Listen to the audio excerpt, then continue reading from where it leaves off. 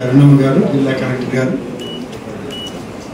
ముఖ్యంగా ఈరోజు ఈ సమావేశానికి వచ్చిన గౌరవ శాసనసభ్యులు శాసన మండలి పార్లమెంట్ సభ్యులు అలాగే ఈ సమావేశానికి వాస్తవంగా జెడ్పీటీసీ ఎంపీపీలే ప్రధానమైన Mandal Praja Parishad meeting mandal general bodies అక్కడ గ్రామ సర్పంచులు కూడా వస్తారు. ఇక్కడ గ్రామ సర్పంచులు రారు. ఎంపీపీలు మాత్రమే వస్తారు. అక్కడైతే గ్రామ సర్పంచులు ఉంటారు. వాళ్ళతో చర్చించండి. చర్చించిన తర్వాత మీకు ఏదైనా ఏదైనా కొన్ని గ్రామాలు అక్కడ వచ్చినటువంటి సర్పంచులు కానీ ఎంపీపీ ఎంపీటీసీ మెంబర్లు కానీ మా గ్రామాల్లో ఇది ఉందంటే let them go to farm. Let them go to village. గ్రామ స్థాయికి పోయి చూసినప్పుడు మాత్రమే దీనికి పరిష్కారం వస్తుంది. ప్రభుత్వం ఇచ్చేటువంటి ప్రతి రాయితీ అది ఎంత నిధులన్నా రానివ్వండి అవి చివరి దాకా చేరుతాయి. అసలు రైతులకి చాలామందికి మీరు దేనికి సబ్సిడీ ఇస్తున్నారు? దేనికి మనం డిస్ట్రిబ్యూషన్ చేస్తున్నాం అనేటువంటిది చాలామందికి తెలియదు. మరి ఎందుకు మనం డివిజన్ లెవెల్ ఆఫీసర్స్ కానీ అలాగే డిస్టిక్ లెవెల్ ఆఫీసర్స్ కానీ మండల్ లెవెల్ మీటింగ్స్కి ఎందుకు వెళ్ళట్లేదో? ఒకసారి మీరు రీఆర్గనైజ్ చేయండి. ఈ instruct them let them go to fields let them go to villages and mandal level అప్పుడు మాత్రమే కరెక్ట్ ఫీడ్బ్యాక్ వస్తుంది. మనం తీసుకునే నిర్ణయాలు ఏవైనా గ్రామ స్థాయిలో రైతులకి అందుబాటులోకి వస్తాయి. అప్పుడు మాత్రమే ఈ టెక్నాలజీ ట్రాన్స్ఫర్ జరుగుతుంది. ఎంతసేపు కాన్సెన్సీకి ఒక ల్యాబ్ పెట్టాం. ఈ ల్యాబ్లో సాయిల్ టెస్టింగ్ అయిపోయింది. ఎవరు ఇంట్రెస్ట్ ఉన్న రైతు వస్తాడు టెస్ట్ చేసి ఇచ్చేస్తున్నాం.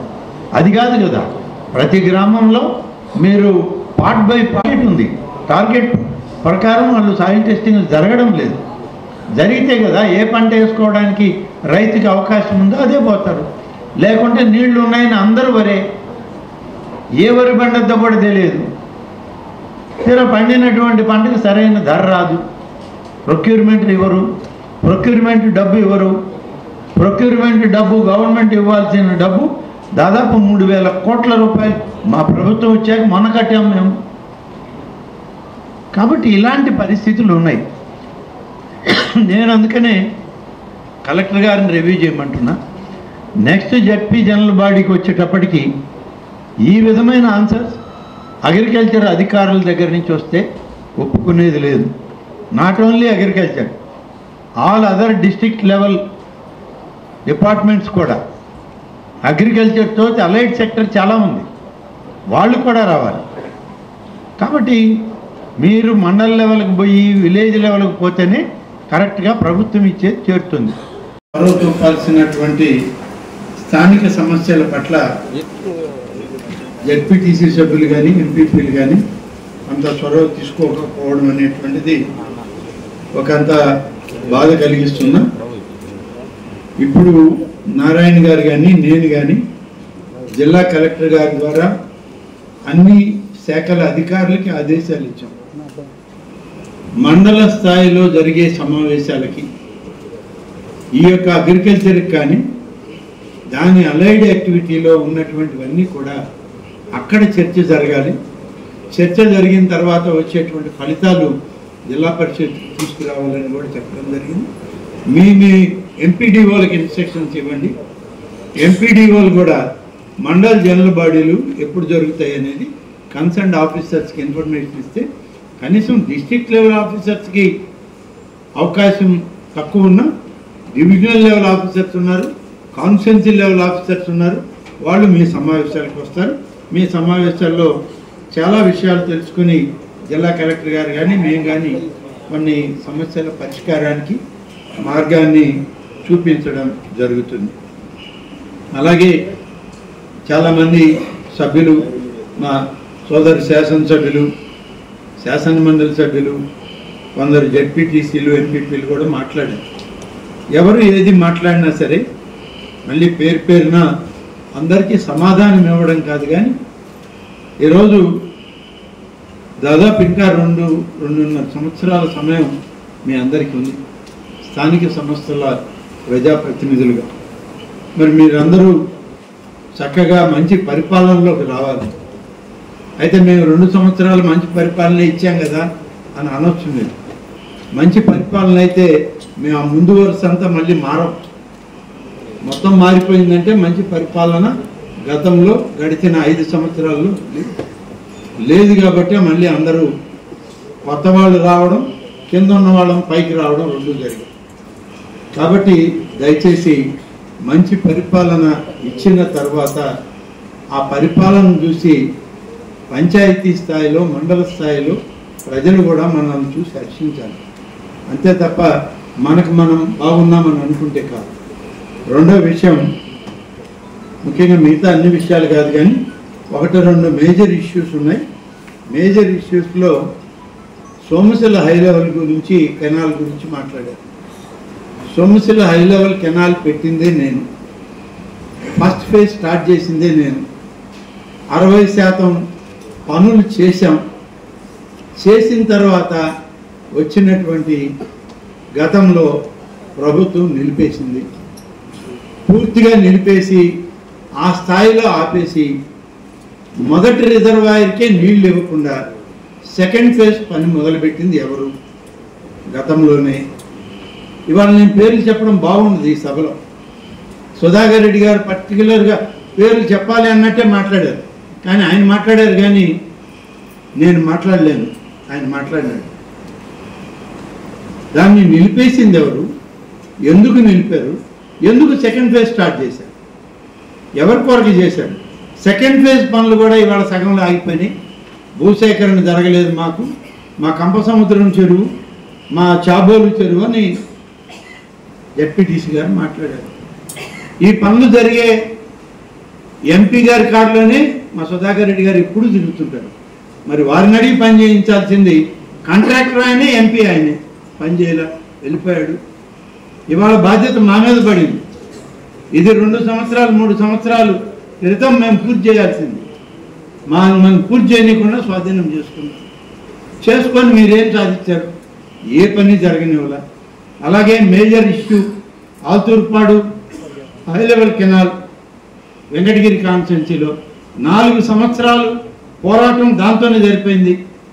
అది జరగలేదు కాబట్టే భగవంతుడు నాకు ఒక మార్గం చూసి మీలో నుంచి నన్ను బయటకు వచ్చాను లేకుంటే మీలోనే ఉంటే ఆ ముందు వరుసలో కూడా ఉన్నాను నేను కాబట్టి ఇవాళ ఆ పరిస్థితుల్లో నుంచి ఇవాళ రామకృష్ణ మొదలుపెట్టాడు. ఆనాడు చంద్రబాబు నాయుడు గారు ముఖ్యమంత్రిగా ఆల్తూర్పాడు రిజర్వాయర్. టెండర్ పూర్తయింది. ఆయనే శంకుస్థాపన భూమి పూజ చేశాడు. తర్వాత వచ్చిన ప్రభుత్వం దాన్ని రద్దు చేసింది. ఎక్కడ రాదు చర్చ. మన దీంట్లో చంద్రమోహన్ రెడ్డి గారు బుచ్చిరెడ్డిపాళెంలో ఒక టెంపుల్ గురించి మాట్లాడారు. ఆ ల్యాండ్స్ విషయం కూడా నేను ఇప్పుడే ఇన్ఫర్మేషన్ తెప్పించుకొని తప్పు జరిగి ఉంటే సరిచేసే ప్రయత్నం చేస్తాను. తప్పులేదు ఇలాంటివన్నీ కూడా ఇలాంటి సమావేశాల్లోనే వస్తాయి. మీరు మాట్లాడితేనే మాకు తెలుస్తాయి. మీరు మాట్లాడకపోతే మాకు కూడా చాలా తెలియదు. మాట్లాడాలనే కోరుకుంటున్నాం. కానీ మీరు కూడా దాని బాధ్యతను తీసుకొని మాట్లాడగలిగితే మా వంతు సహకారం ప్రభుత్వం నుంచి మేము కూడా అందిస్తామని తెలియజేస్తూ వచ్చేది వర్షాకాలం. వర్షాకాలంలో ఆధారపడ్డ రైతాంగం ఉన్నారు మన మీద. దాదాపు నెల్లూరు జిల్లాలో ఎనభై నాలుగు శాతం వ్యవసాయ ఆధారిత రైతాంగం మన గ్రామీణ ప్రాంతాలన్నీ. పరిశ్రమలు లేవు మనకి. ఎక్కడో ఒక దగ్గర పోర్ట్ వచ్చింది. మరొక దగ్గర పోర్ట్ రాబోతుంది. ఇంకొక దగ్గర హార్బర్ వస్తుంది. ఇవన్నీ ఇంకా రాబోతున్నాయే తప్ప రాలేదు. ఆ చుట్టుపక్కల గ్రామాల్లో ఉన్నటువంటి వాళ్ళకి కొంత వెసులుబాటు. మిగతా వాళ్ళం అందరం వ్యవసాయం మీదనే ఆధారపడ్డాం. ఇవాళ అందరు రైతు కుటుంబాల నుంచి వచ్చిన వాళ్ళు. మేము కానీ మీరు కానీ. మీరు కొంచెం ఎక్కువగా దగ్గరగా వాళ్ళని చూస్తారు మేము కొంచెం దూరంగా చూస్తాం. అంతే అంతకన్నా తేడా ఏం లేదు. అందుకని వాళ్ళ సమస్యలను ప్రొజెక్ట్ చేయడంలో మీరు అందరూ కూడా ముందుకు రావాలి. వ్యవసాయ ఆధారితమైన ఈ జిల్లాకి వరప్రసాదిని సోమశిల ప్రాజెక్ట్. సోమశిల ప్రాజెక్టుని ఎవరు ఎంత నిర్లక్ష్యం చేశారో ఇప్పుడు నేను చెప్పడం భావ్యం కాదు. మీ అందరికీ తెలుసు. మూడు సంవత్సరాల క్రితం సోమశిల ప్రాజెక్ట్ గేట్లు కొట్టుకుపోతే పక్కన ఉన్నటువంటి సోమేశ్వర స్వామి ఆలయంతో అమ్మవారి విగ్రహం కిలోమీటర్ కొట్టుకుపోతే పెన్నలో చెయ్యమని చెయ్యాలి అని చెప్పి పదే పదే కోరితే నన్ను అనర్హుణ్ణి చేసేదే తప్ప సోమశిలను మాత్రం బాగు చేయాలని చెప్పి గతంలో ఆనాడు ఉన్నటువంటి ప్రభుత్వం ఒక్క ఆలోచన కూడా చేయలేకపోయింది. పేరుకు తొంభై ఏడు కోట్లు ఇచ్చామన్నారు. ఒక్క రూపాయి పని ఒకటో రెండో పనులు మొదలు పెడితే బిల్లులు ఇవ్వకుండా వాళ్ళని ఏడిపించి చంపారు ఇవాళ మొన్న మేము వచ్చాం. వచ్చిన రెండో వారమే ఇరిగేషన్ మంత్రిని తీసుకొచ్చాం. మేమందరం కలిసి ఎమ్మెల్యేలు అందరం కలిసాం. అధికారులు జిల్లా అధికారులతోటి సోమశిల భయం వెంటనే ఆ యాప్రాన్ డ్యామేజ్ అయిందంతా కూడా పూర్తి చేయాలన్నాం ఇవాళ సోమేశ్వర స్వామి ఆలయం పూర్తిగా దేవాదాయ శాఖ నిధులతో పూర్తి చేయాలని చెప్పి నిర్ణయం తీసుకున్నాం. దానికి ఇవాళ దాదాపుగా తొమ్మిది కోట్ల రూపాయలు ఖర్చు అవుతుంది. వాస్తవానికి ఇరిగేషన్ డిపార్ట్మెంట్ ఇవ్వాలి. కానీ అనేక సమస్యల మధ్యలో ఇవాళ ఇరిగేషన్ శాఖ నిధులు వెచ్చించే అవకాశం లేదు. ఆలస్యం అవుతుందని చెప్పి ఇటీవలే దేవాదాయ శాఖ అధికారులతో సోమేశ్వర స్వామి ఆలయానికి తొమ్మిది కోట్ల రూపాయలు మనం మంజూరు చేయాలి. ఇది సీఎం గారి అనుమతితో చేద్దాం అని మేమందరం కూడా దానికి రికార్డ్ చేసుకోవడం జరిగింది. ఇలా ప్రతి ఒక్కటి కూడా ప్రభుత్వ అనుమతితో చేయడానికి మేము కూడా కలిసి వస్తున్నాం. మీరు కూడా కలిసి రండి. ఇవాళ మీ వైఫల్యాలను ఎత్తి చూపాలంటే ఈ రోజంతా సరిపోద్ది నాకు. మీరు ఎవరు మాట్లాడుకుంటుంటే. ఈ రోజంతా కూడా సాయంత్రం ఆరు దాకా చెప్తా కదా. కానీ అది అది సరైనది కాదు. అయిపోయింది. మీరు ఒక బాటలో నడిచారు. మేము ఒక బాటను ఎన్నుకున్నాం. ఇవాళ మేము అధికారంలోకి వచ్చాం. ప్రభుత్వంలో మేమున్నాం. మా ముఖ్యమంత్రి చంద్రబాబు నాయుడు గారు ఉన్నారు. తప్పనిసరిగా ఇవాళ ఉప ముఖ్యమంత్రి గారు పవన్ కళ్యాణ్ గారు వాళ్ళిద్దరి నాయకత్వంలో ఇవాళ మోడీ గారి ఆశీస్సులతో ఈ రాష్ట్రం పరిడి వెళ్ళబోతుంది అభివృద్ధి సంక్షేమం. మీరు కూడా కలిసి వస్తే మీరు కూడా మాతో నడిస్తే అందరం కలిసి ఒక్కటిగా ముందు ముఖ్యంగా ఈ జిల్లాను బాగు చేసుకోవడంలో ఈ జిల్లా అభివృద్ధిని చేయడంలో అందరం కలిసి పనిచేద్దాం. పదిహేను సంవత్సరాల క్రితం ఆత్మకూరులో ఆనాడు మీ అందరి సహకారంతో ఆనాడు మీరు లేరు కానీ వేరే సభ్యులు చాలామంది ఉన్నారు. వాళ్ళందరి సహకారంతో ఆనాడు ఆత్మకూరు అభివృద్ధి చేశాను కాబట్టి పది సంవత్సరాల తర్వాత నేను ఇవాళ ఆత్మకూరుకు పోతే అసలు పోరాటం అనేది కాదు కానీ మేమేదో చేసేసామని చెప్పుకున్న వాళ్ళందరూ తిరుగు ముఖం పెట్టి వెళ్ళిపోతే మళ్ళీ ఆ ప్రాంత ప్రజలు ఈ స్థానంలో నన్ను ఇక్కడ కూర్చోబెట్టారు. కాబట్టి అభివృద్ధి చేసిన వాళ్ళని ప్రజలు మర్చిపోరు. పని చేసిన వాళ్ళని ప్రజలు మర్చిపోరు. మనం కాలయాపన చేసుకుంటూ ఊరికిన మాటలకు పరిమితం అయితే మాటలకే ఉంటాయి తప్ప స్థానాలు మాత్రం రాబోయే ఎన్నికల్లో మనకు మిగలవు. దయచేసి మీరు అందరూ కూడా కలిసి రండి ఈ జిల్లాని అభివృద్ధి చేయడంలో కలిసి నడుద్దాం. ఇప్పటికే సంక్షేమ అభివృద్ధిలో మా ప్రభుత్వం ముందుంది చెప్పిన పనులని చేయడం మేము మొదలుపెట్టాం. మొదలుపెట్టాం మొదలు పెట్టాం కాబట్టి జూలై ఒకటో తారీఖు అంతా నాలుగు వేల ఏడు వందల కోట్ల రూపాయలు పెన్షన్లను ఒకటో తారీఖే తొంభై ఎనిమిది శాతం పంపిణీ చేయం. మీరందరూ అన్నారు. ఇక్కడ ఉన్న వాళ్ళందరూ అన్నారు. ఆ టెండర్లే పిలుస్తా ఉన్నారు.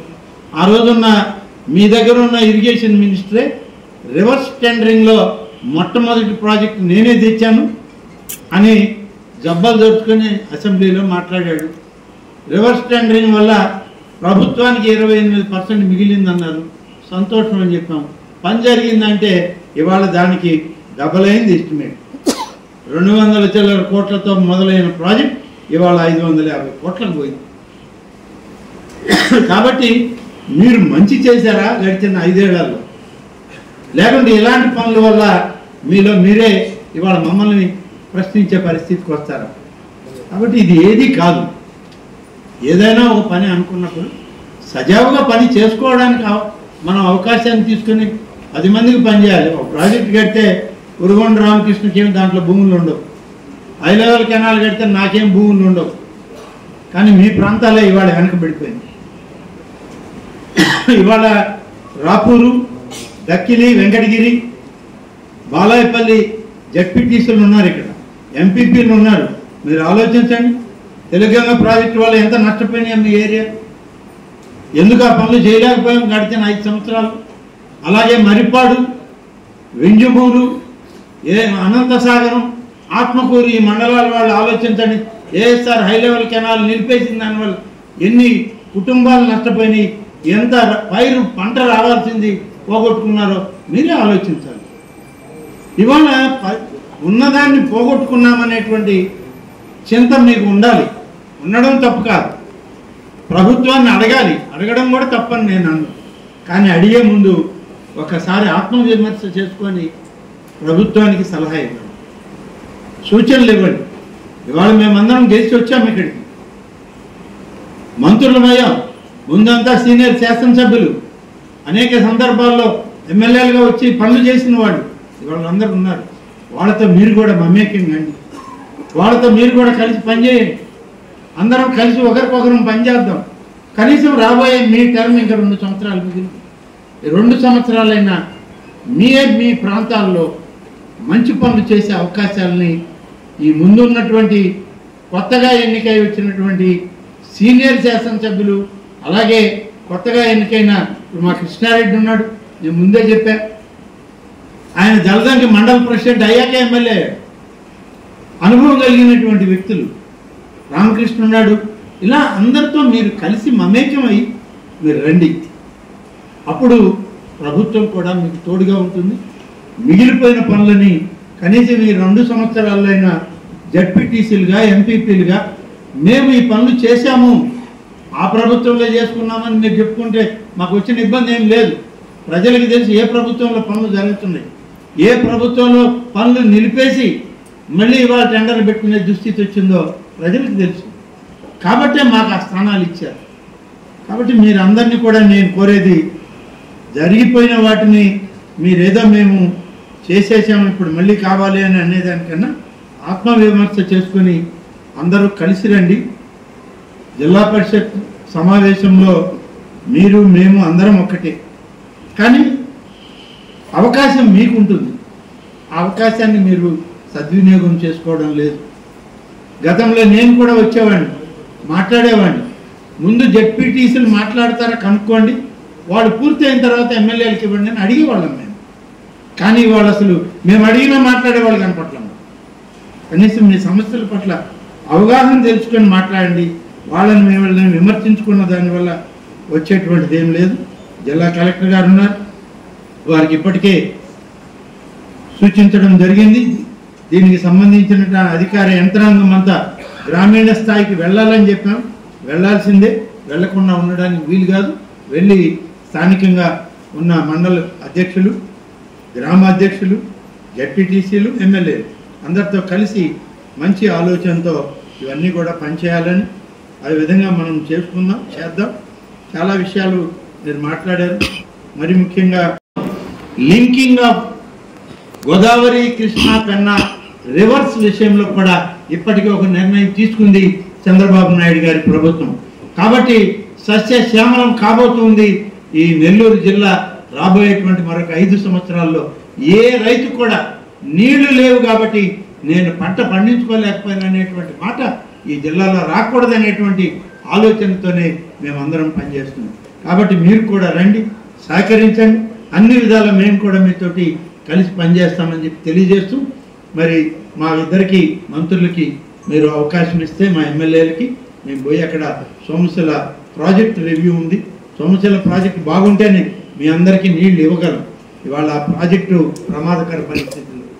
గడిచిన మూడు సంవత్సరాలు అన్నమయ్య ప్రాజెక్టు కొట్టుకుపోతే దిక్కులేదు. సోమశిల గేట్లు కొట్టుకుపోతే దిక్కులేదు. శివాలయం కొట్టుకుపోతే దిక్కులేదు. మనం కొట్టుకుపోతే అయినా దిక్కుందో లేదో గత ప్రభుత్వంలో బతికి బయటపడ్డాం.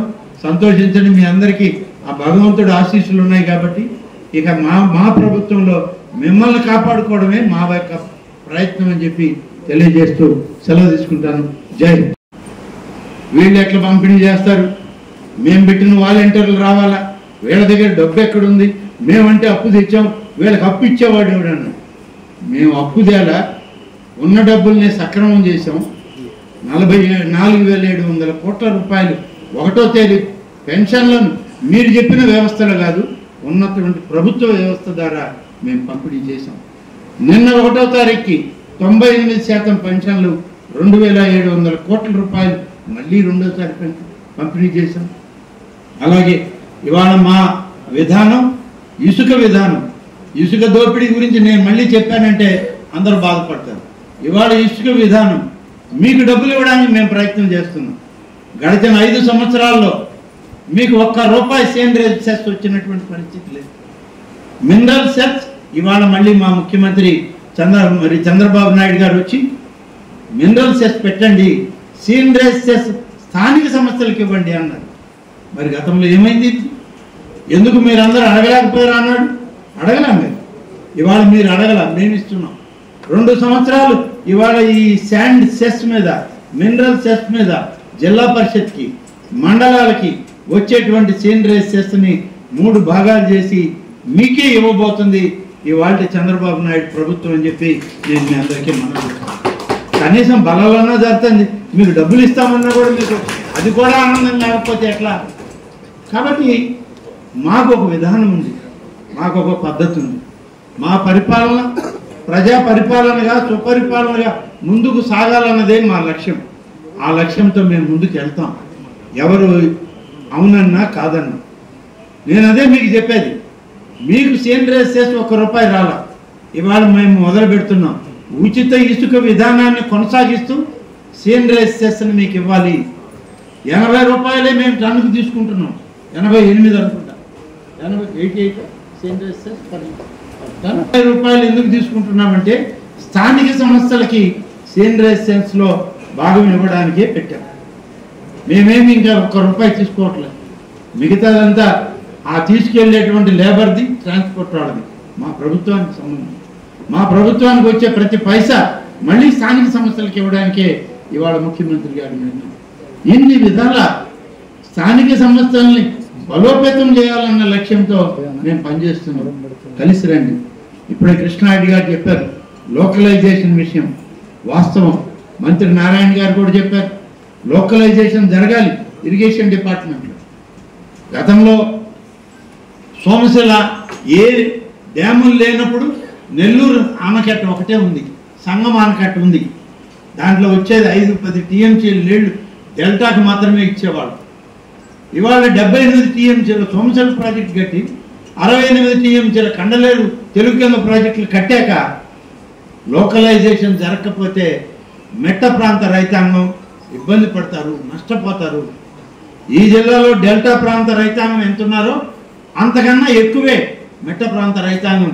కందుకూరు మొదలు వెంకటగిరి వరకు అన్ని నాన్ డెల్టా ప్రాంతాలే. కావల్ల పార్ట్ కూడా నాన్ డెల్టా ప్రాంతమే. కాబట్టి కేవలం గతంలో ఎప్పుడో పదహారు టీఎంసీలో పదిహేను టీఎంసీలో ఏ ఆనకట్టలు లేకుండా వచ్చే రోజుల్లో ఉన్న ఆయకట్టు ఇవాటికి లెక్కల్లో చూపించి మేము ఇంత ఐఏబీలో ఇంత ఇచ్చాం ఇన్ని టీఎంసీలు నీళ్ళు కావాలంటే ఐఏబీలో మీరు చూపించే భూమి వ్యవసాయమా లేదా? దేనికి మీరు నీళ్ళు తీసుకుంటున్నారని లెక్కలేనటువంటి తప్పులు అనేకం జరిగాయి ఏ సభల్లో. కానీ ఇక మీద ఆ తప్పు జరగకూడదు. జిల్లా కలెక్టర్ గారిని కూడా ఇవాళ ఇక్కడ చెప్పడం జరుగుతుంది ఆయన. లోకలైజేషన్లో రెవెన్యూ అగ్రికల్చర్ ఇరిగేషన్ కలిసి వాళ్ళని రిపోర్ట్స్ ఇవ్వమనండి. బహుశా పదిహేను రోజులు నెల రోజులు టైం పెట్టుకోండి. నెక్స్ట్ ఐఏబీలోగా ఏ కెనాల్ కింద ఎంత భూమి ఆయకట్లో ఉంది ఎంత భూమిలో వరి పెడుతున్నారు రైతులు ఎన్ని నీళ్ళు కావాలి అనే లెక్క ఉంటేనే సోమశల నుంచి నీటి విడుదల విడుదల సులభమవుతుంది. తెలుగంగ నుంచి నీటి విడుదల చేయడం సులభమవుతుంది. ఒక పక్క రాళ్ళపాడికి ఇచ్చాం. వాళ్ళకి రెండున్నర టీఎంసీ నీళ్ళు ఇస్తామన్నాం. ఎక్కడి నుంచి ఇవ్వాలా ఇప్పటికి లెక్కలేదు సోమశిల అంటారు. అందరికీ సోమశిలే. ఏఎస్ఆర్ హై లెవెల్ కెనాల్కి సోమశిలే. రాళ్ళపాడికి సోమశిలే. ఈ లోకలైజేషన్ క్లారిటీ రాకుండా మనం కెనాల్స్కి వాటర్ ఇవ్వలేము. కాబట్టి దయచేసి మీరు కూడా అధికారులు జిల్లా అధికారులు ఈ లోకలైజేషన్ దీనిలో అర్థం చేసుకుని పనిచేయాలి.